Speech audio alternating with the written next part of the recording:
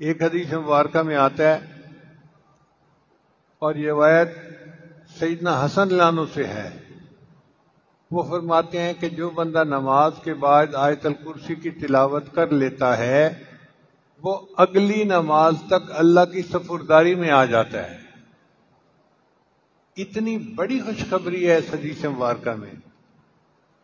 कोई बंदा अल्लाह की सफुरदारी में आ जाए इससे बड़ी और गारंटी क्या हो सकती है? अल्लाह फरमाते हैं, इन यनसुरकुमुल्लाह फला गालिब लकुम. अगर अल्लाह तुम, तुम्हारी मदद करे तो कोई तुम पर गालिब नहीं आ सकता। अब हम परेशान फिरते हैं घर की वजह से रिस्क की वजह से, बेबरकती की वजह से। और उसका इलाज नबी इस्लाम ने हमें बतला दिया। एक अमल है और छोटा भी नहीं, एक ही आयत है। उसके पढ़ने से इंसान अल्लाह की ज़िम्मेदारी में आ जाता है।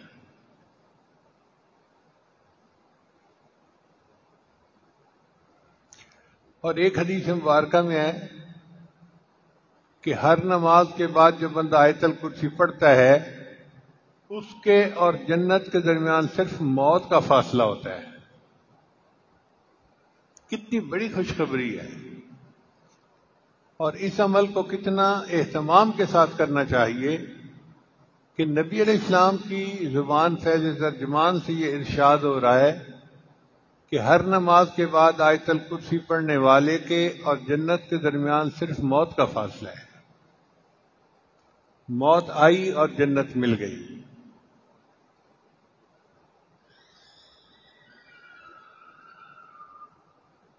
और एक हदीस मुबारक में आता है कि जो बंदा आयतल कुर्सी रात को सोते हुए पढ़ लेता है, अल्लाह ताला उसकी भी हिफाजत फरमाते हैं, उसके घर वालों को भी हिफाजत फरमाते हैं, और उसके पड़ोसियों की भी हिफाजत फरमाते हैं।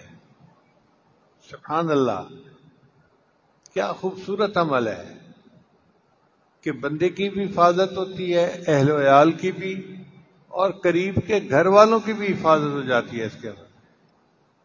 इसलिए इस अमल को बहुत एहतमाम से करने की ज़रूरत है।